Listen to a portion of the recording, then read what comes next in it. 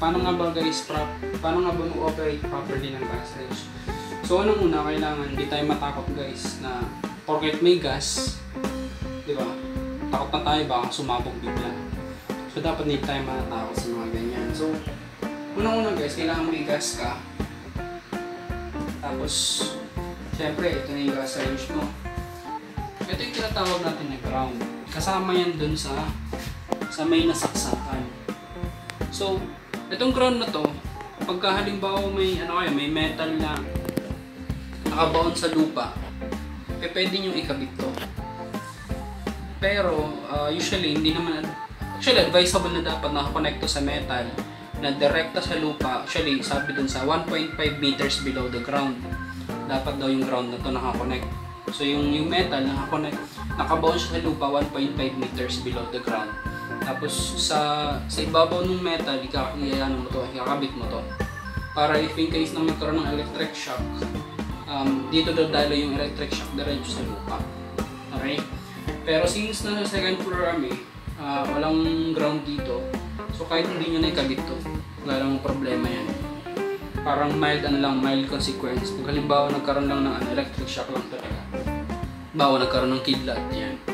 So, pwede masira yung uh, appliance mo.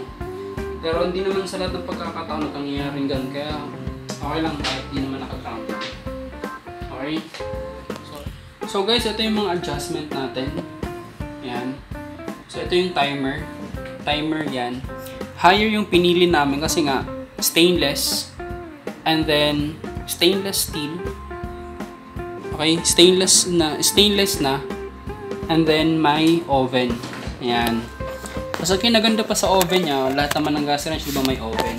Ang kinaganda pa ng gas range na to, may rotisserie. Yan. So, pwede kang mag, ano, pwede kang mag, ano, mag, uh, maglechon. Lechon manok. Yan. So, ito yun. Magro-rotisserie ka. Pwede ka rin mag-bake dito, of course. So, para umikot yung rotisserie na to, i-click mo lang to. Yan. 'Di ba? Pansin mo, nag-ilaw. So, iikot na yan doon. Umiikot, umiikot na siya doon sa Diba? Off mo lang yan. So, para magkaroon, gusto mo magkaroon, mag, maglilitsyon ka ng manok. Litsyon manok. Ayan, so pwede na yan. Tapos, ito naman siya. Pansin nyo guys, may mga naka dito, may mga naka-print sa taas. Diba? So, itong mga naka-print sa taas, yung purpose niya ay para ma-determine, di ba? Kung naka-print sa taas, yung purpose niya ay para ma-determine kung saan banda yung adjustment na to. Limbawa, ito siya, nasa baba. So, yung adjustment na to ay para dito. Okay? Lower left side. Okay? Yung adjustment niya ay lower left side. So, yung adjustment na to ay para dito sa lower lower left side. And then, ito naman siya, upper left side.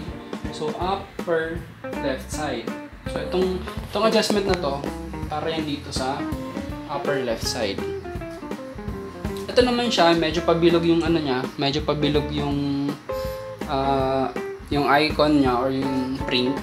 So, yung adjustment na to ay para sa oven. Okay? Para sa oven yan dito.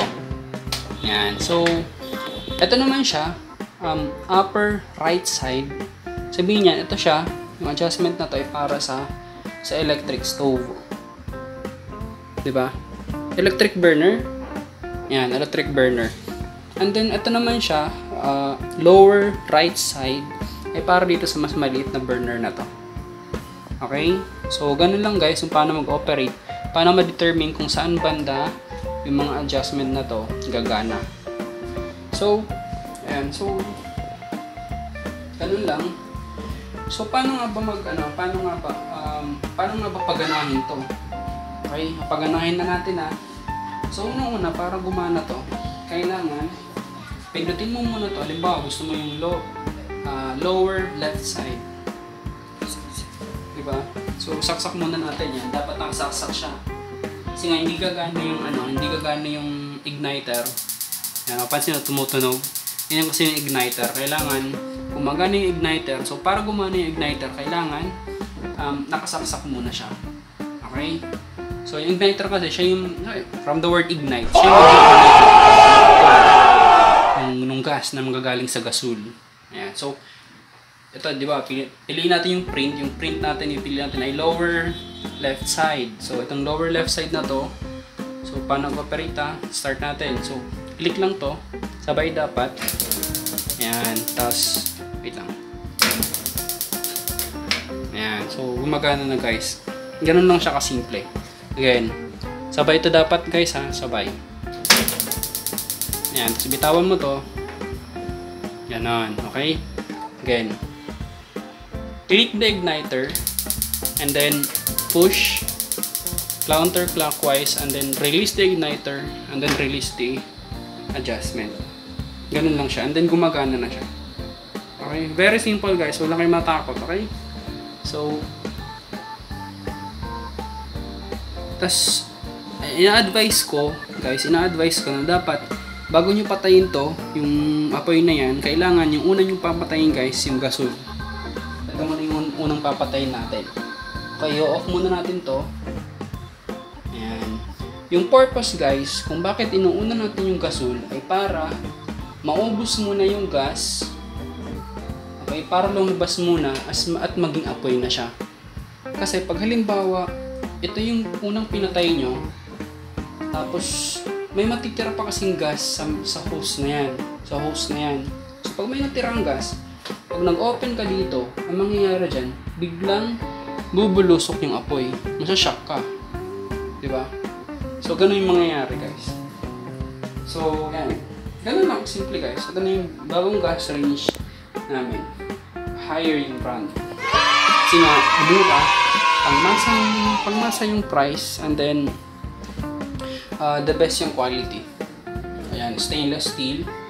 And then may rotisserie, rotisserie na siya kasi nga pagka sa ibang brand ka, yung may mga rotisserie na ano na, na, na model nasa nagre-range na siya ng 28,000. Ito siya, may rotisserie na nasa 13 ano lang or 14,000 to 15,000 pesos higher. Okay? So, ayun.